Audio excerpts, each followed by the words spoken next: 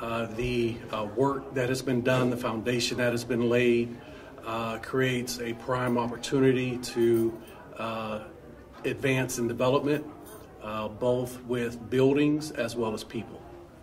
The primary plan right now is to complete the work that has been in development. So, the Choice Neighborhood Initiative, uh, where HUD has provided resources uh, for planning and development, primarily the Frederick Douglass or the Five Point area.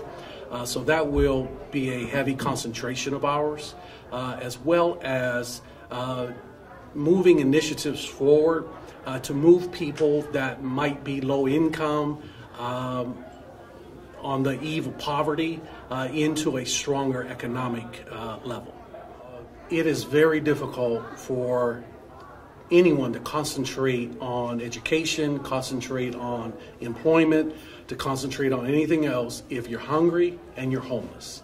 Uh, so we are responsible uh, by the federal government uh, to meet that homeless piece. Uh, so we're meeting the need there and then once they're, they have a home, then we hope to educate and inspire them to now take further steps uh, to become more economic viable. Uh, and then if, if they qualify and we work with them uh, to qualify them, then they're able to move up to uh, independent, uh, unsustained housing. So then it's a win win for everyone. It's a win win for banks, it's a win for uh, landlords who are offering market rate rents, and it's a win for the community.